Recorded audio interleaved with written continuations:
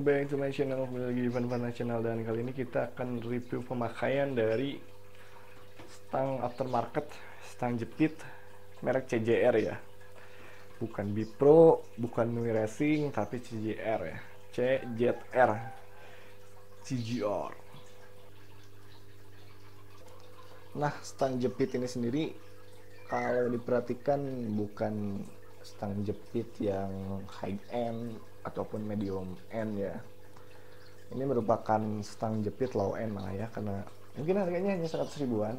Ini pun dulu dapat bonus ketika beli full firing untuk bison. Ini motor bison kelihatan dari ukuran shocknya yang besar.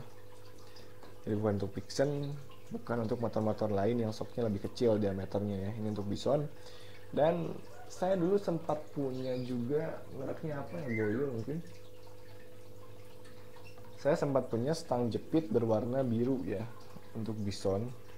Dan ini stang jepit kedua saya. Jadi dulu sempat juga pakai stang jepit. Agak lupa saya tapi dulu dia lebih lebih rendah ya nggak ada ininya. Ini mungkin di beberapa penjual disebut sebagai stang jepit robot karena beberapa sendi ada beberapa sendi. Seperti di sini jadi dia bisa ditekuk agak ke bawah. Nih dengan cara dilonggarkan ini ya. Jadi bisa di setel ketinggian stangnya jadi bisa agak ke bawah juga. Di sini dia cukup cukup apa ya cukup cukup adjustable-nya bisa diatur sedemikian rupa ya. Bagian atasnya juga. Dan bagian ini tentu bisa diatur juga uh, bagian ini. Untuk ini dia bisa kiri kanannya ya bisa digini-gini intinya dan yang dulu saya nggak ada itunya nggak ada ini dia langsung ke dibawa ke sebelah sini. Jadi cuma bisa diatur ininya aja untuk ketinggian dan sebagainya dia nggak bisa diatur. Kalau ini bisa untuk CJR ini bisa. Bisa diatur. Dan warnanya ini bukan warna hitam ataupun silver warna merah marun mungkin ya ini. Warna merah lah intinya. Merah tembaga.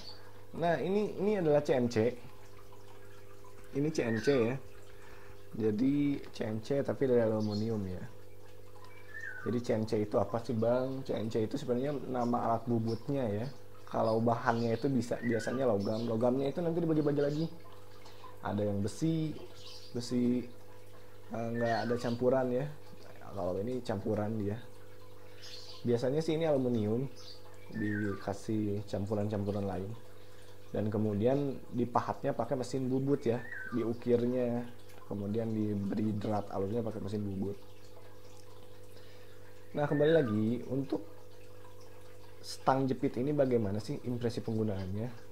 Apakah mudah luntur catnya? Berhubung ini motor jarang digunakan sih ya jadi mungkin susah juga untuk menebak ini mudah luntur atau enggak. Tapi sepanjang saya pakai dari tahun 2019 sekarang sudah 2020 ya masih terbilang oke okay, nggak luntur.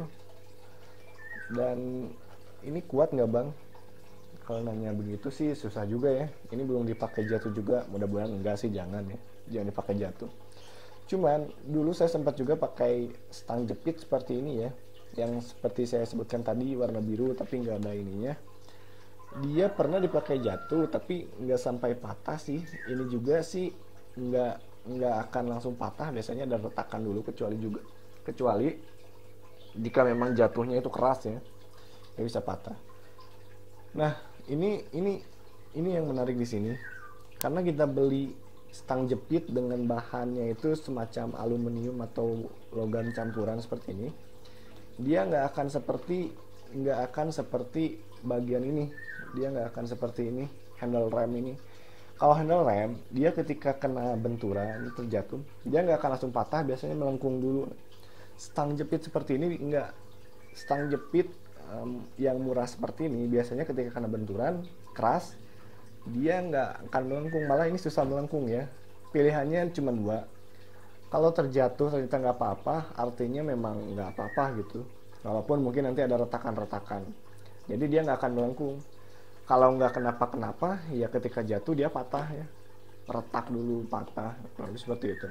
Makanya itu juga yang membedakan kenapa sih ada stang jepit harganya murah lumayan lumayan mahal. Kemudian paling mahal salah satunya itu adjustment ketika terjadi kecelakaan.